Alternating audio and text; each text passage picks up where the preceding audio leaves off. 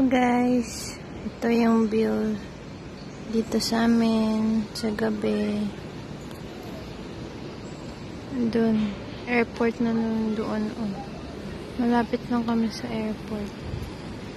Ito yung view sa baba namin. Swimming pool, private pool yan.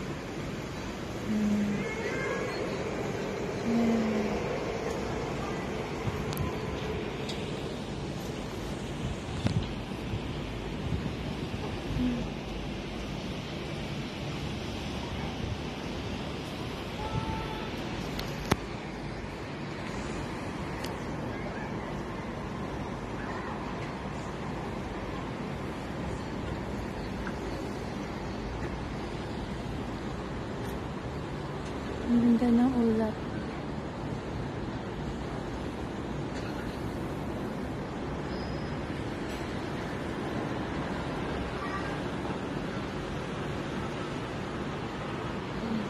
Private ba siya namin?